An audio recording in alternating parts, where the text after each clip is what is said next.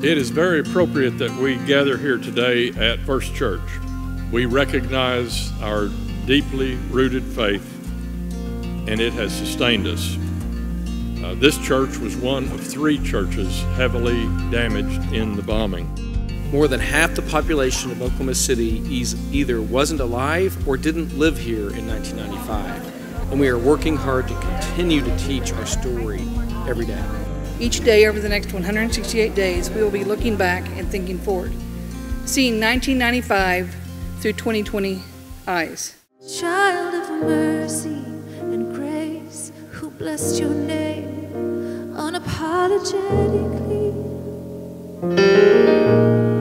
and leave that kind of legacy. While you hold grief in one hand, you absolutely can hold hope in the other.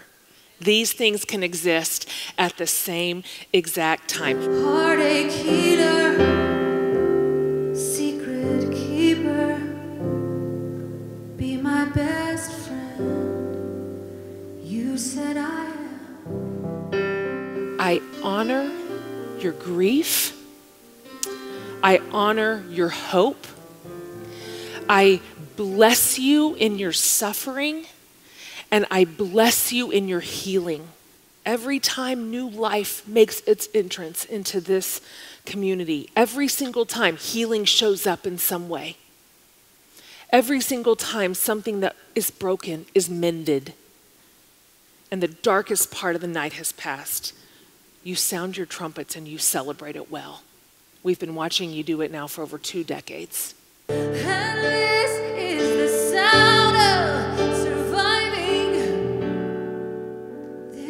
my